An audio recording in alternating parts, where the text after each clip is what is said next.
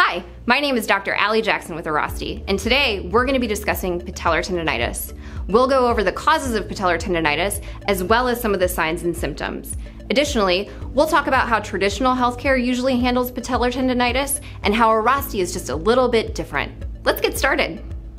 Patellar tendonitis is often referred to as jumper's knee.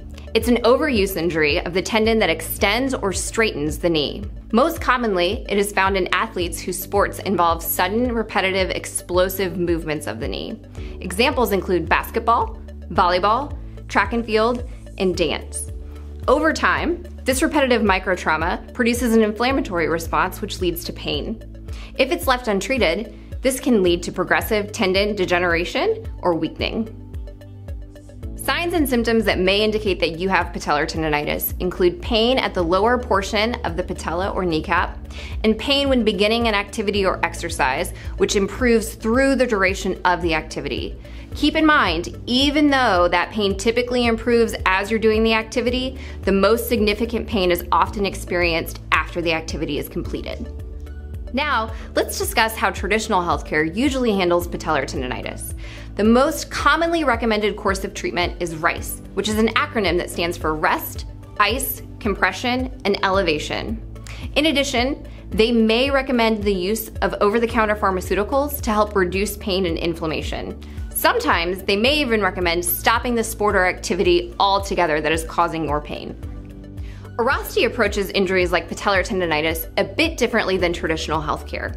First, our treatment teams spend an entire hour with every single patient. Our providers perform a thorough evaluation, including orthopedic, functional, and neuromuscular testing to arrive at an accurate diagnosis, which allows us to determine the root cause of your injury. Additionally, this evaluation will help dictate where that Airrosti certified provider will perform specific hands-on manual therapy. The second half of your appointment is spent performing active care exercises tailored specifically to your injury and your abilities.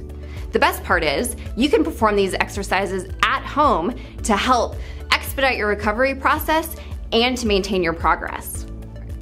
We hope the information presented was helpful to you. If you or someone you know is experiencing patellar tendonitis or any other pain, please reach out to Airrosti because we would love to help. We offer in-clinic and telehealth options. To schedule an appointment, click here.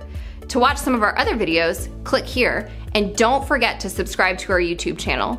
Thanks so much for watching and we'll see you in the next video.